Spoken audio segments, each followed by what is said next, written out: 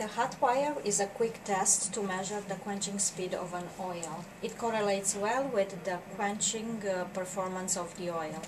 However, it's not applicable to the water-based quenchants. Uh, quenching of an oil means uh, heating it to a higher temperature and then uh, cooling it abruptly to a lower one.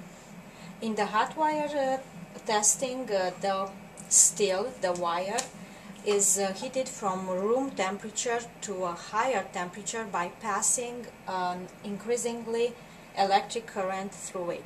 The heat generated in the wire is um, continuously taken away by the oil until a point is reached when the generated heat is more than that's taken away by the oil. Uh, at that point the wire fuses and um, that's what we call the hot wire reading. The equipment necessary uh, to run this test is the hot wire apparatus, the wire holding probe, uh, it's uh, a thermometer, a hot plate, and a beaker, and of course the oils. Before testing an oil sample, we need to calibrate the apparatus. We are going to use an accelerated calibration oil as a reference. How we do it? We pour 150 mils of uh, the accelerated calibration oil in a beaker and uh, heated it up on the hot plate uh, to 140 uh, degrees Fahrenheit. Then uh, we place uh, the wire between the electrodes of the probe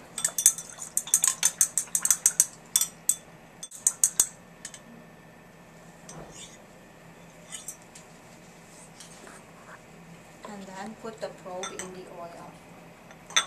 The switch uh, of the apparatus is turned on and uh, as we are seeing here uh, the current keeps on increasing until the wire fuses. This maximum current that the wire can take before burning out is uh, locked on the display and uh, it's taken at the hot wire reading. Three such determinations are taken and the average value is uh, considered to be the quench speed of the oil. For the calibration oil, uh, the value that we are expecting is 34 plus minus 0.2 amps. If uh, that's not the case, uh, the apparatus has a calibration knob here that can be adjusted and the test is repeated again uh, until uh, the value falls within the spec. Now that the apparatus is calibrated, we are gonna take our oil sample, which is unused AAA oil, and uh, repeat the procedure. Take three readings of the hot wire and do the average.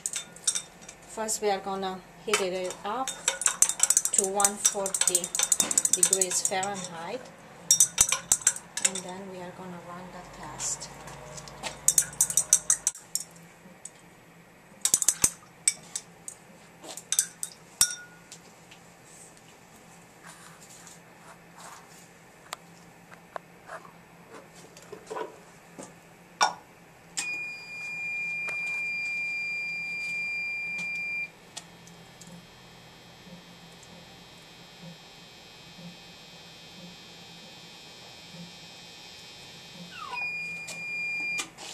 we follow certain guidelines uh, in reporting uh, if the hot wire of an oil is satisfactory or not.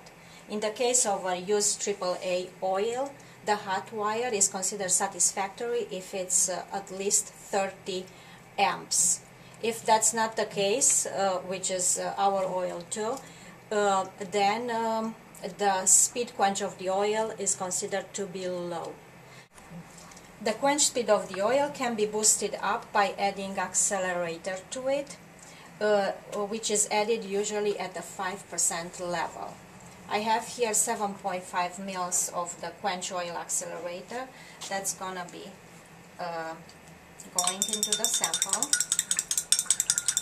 And then uh, the test is repeated, three readings uh, are taken and the average is recorded as the hot wire of the oil.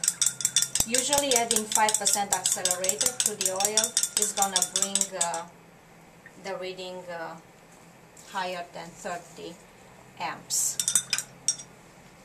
And uh, in that case, that's uh, what we are gonna report to the customer.